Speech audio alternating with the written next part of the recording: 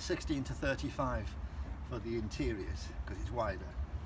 But it's only f4 so for the really detailed shots I'll use the 24 to 70 which is a 2.8 and a well it costs about three times the price of this one so theoretically it should be a bit better but we'll see.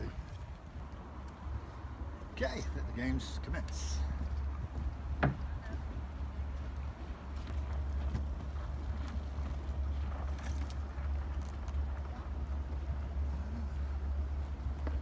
It's all groovy.